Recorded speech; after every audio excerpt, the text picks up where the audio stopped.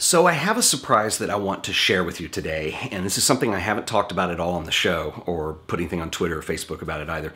Um, a few weeks ago when I was in New York, I had the opportunity to do a video with Ralph Gibson. Ralph Gibson is one of the great living photographers of our generation. He had an enormous impact on me when I was starting out, when I first came across his work. If you're not familiar with his work, um, he has a really interesting aesthetic quality to what he does and a very interesting approach.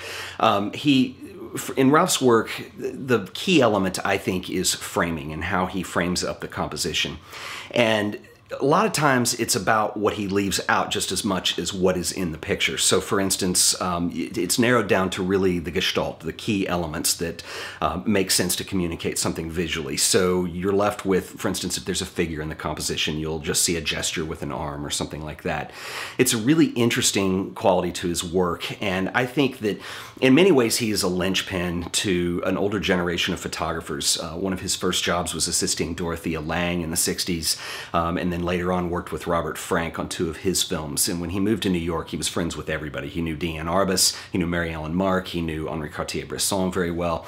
And he was a lot younger than those people. And so it's interesting because I think his work definitely you see an influence of what some of those people in New York were doing at that time, but to me anyway, it combines some of the great elements, uh, you know, some of the narrative qualities of street photography, and it combines those with a lot of the possibilities that you have with still life. So, for instance, in Ralph Gibson's work, juxtaposition is a really key element.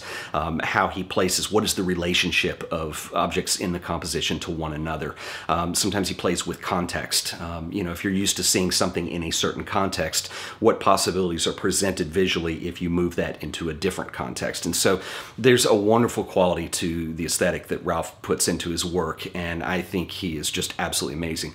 I've talked about him once on the show before. It was a couple years ago when I used to do the Photo 3 series, and I did a show on three photographers who were also musicians, and Ralph is a guitarist. And he does some very interesting things. He has some performance pieces that he does where he improvises music it's improvised within a structure, but it's it's presented with um, video and still images being projected behind him during the performance, and he really is very unique and very interesting. So I'm going to post this video tomorrow, but I want to talk about it first because it's really not like the other artist series videos that I've done. In fact, I had no idea that I would be doing this, so I wasn't prepared for an interview. I didn't have my equipment with me. In fact, I filmed the whole thing on a point and shoot.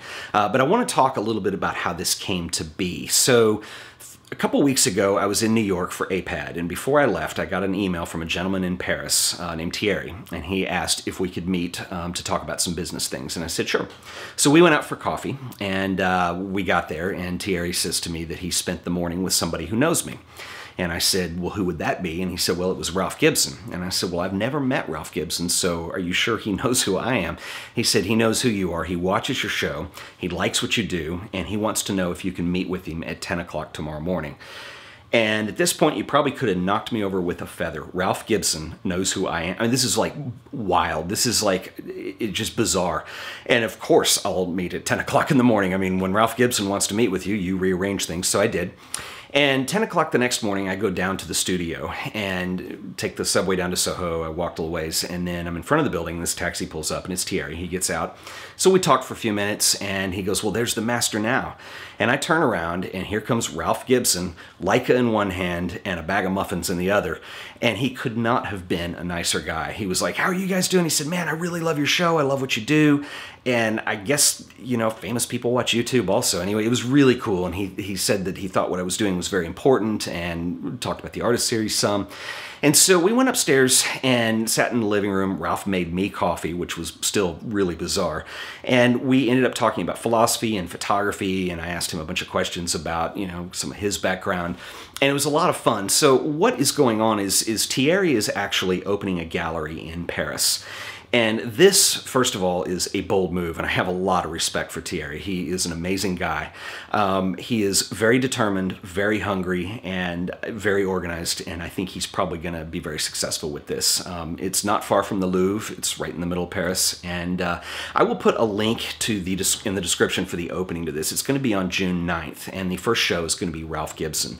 So one of the points of this meeting was Thierry and Ralph were going to look at the works. In fact, it was kind of cool because Ralph Was literally like pulling stuff off the inkjet printer and they were putting them on the floor just to kind of see what uh, photographs worked well next to each other and how they would be arranged in the gallery. And this is an interesting glimpse into the making of an exhibition. So after about two hours, I was just very apprehensive about just turning on the camera and starting to film because it's one of my heroes in photography and, and I just didn't want to be disrespectful of what we were doing there. Um, after about two hours, I did ask if I could film and Ralph said absolutely sure. And we talked about the possibility of doing an artist series around the opening in Paris. And I'm like, yeah, I think I can make that work. And as soon as I found out what the date was, unfortunately, I won't be able to make it to that because I'm supposed to be in Mexico at the same time working on artist series. So anyway, I won't be able to do that. So we'll have to do something another time. But I was just really blown away with, with both of these individuals. I think very highly of Thierry. I think he's going to have an amazing success with this gallery. Um, and I think having Ralph Gibson for the opening is going to be mind blowing. So anyway, that's what this video is about um, that we're going to do tomorrow. And hopefully I'll be able to follow up with a proper um, artist series with Ralph Gibson in the future.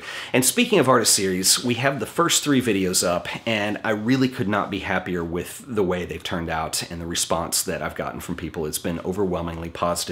And I really appreciate you guys um, sharing these videos. I've had more shares on these than really any of the other 450 so videos that I did before them. And it means a lot to me because I was really nervous about this. This was a big project that we raised money to do do.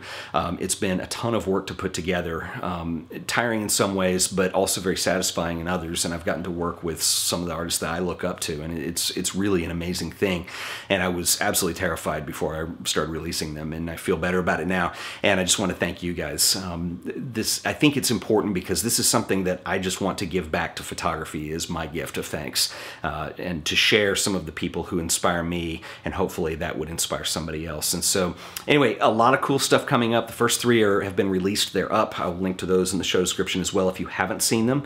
And coming up in the next month, I've got a lot going on. I'm supposed to start this weekend with the next artist, and so I'll be in Beaumont, and then I will be in Wyoming, and then on to Mexico City. And so I'll have more information soon on those. So anyway, I just want to thank you guys once again. If you enjoy these videos, please remember to like them, share them with your friends, and as always, subscribe to The Art of Photography so you'll always be up to date on all the latest and greatest stuff that we do here. Until the next video video. I'll see you guys then. Later.